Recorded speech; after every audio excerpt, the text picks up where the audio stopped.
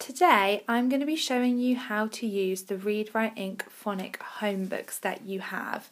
I have got here with me a purple group and a yellow group book and I'm just going to be showing you how to use them at home. The principle for both these books is the same of how you need to read them with your child. The first thing that we do with the children in school is go through the speed sounds. The children usually do this with a partner and they usually have a teaching stick, but you can use anything you've got at home. I'm just going to use this pen. So they go through all the individual sounds, not too quickly so that you can hear the sounds. F, l,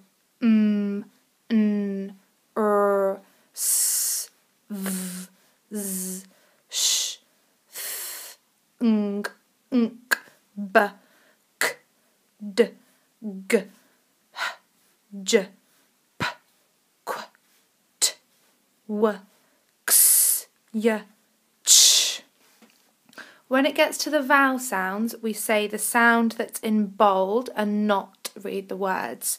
So a, e, i, o, a, a, e, I, O, U, R, O, E, E, Ow, and Oi. The children then need to have a go at reading the green words in Fred talk. B, A, nk, bank, p, o, nd, pond, etc. for the rest of the words. Then they're reading the syllables yell, o, yellow, will, o, willow, duckling, duckling. Then they read the root word first and then with the ending. These words will be slightly different for each book because it's specific for the words that they'll read in the story. At the bottom, there's the red words. Each of the stories will have red words. They might not all have the syllables and the root word, but the principle of the green words and the red words are the same. The red words are the words that they can't sound out and they just need to be able to read them. If they're struggling, although they will have already read the book, you can use my turn, your turn to help them. My turn, said, your turn. My turn, he, your turn, for the rest of the words on the page. The idea is that once they've read the green words and the syllable words and the root words and the red words, they'll be able to read the story independently on their own. On this page, there's a vocabulary check, and you can talk about the words and what they mean before you read the story.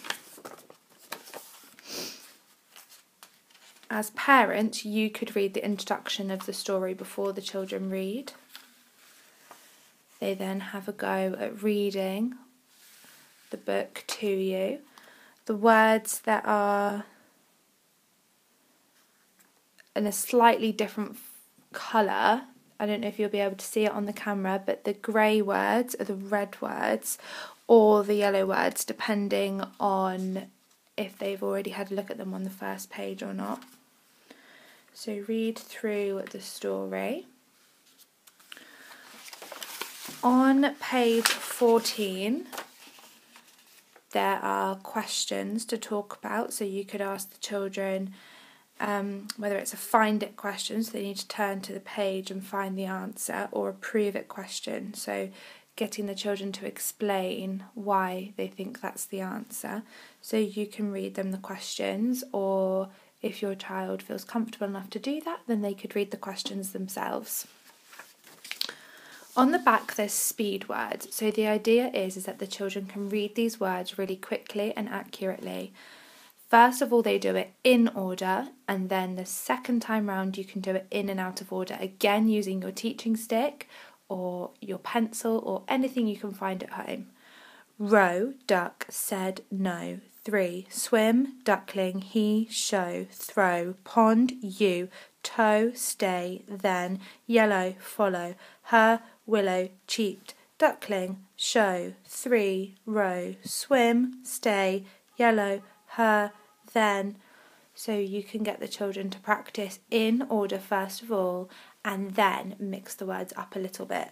Like I've said, the principle for the books is the same regardless of which colour they are, so hopefully that will be helpful.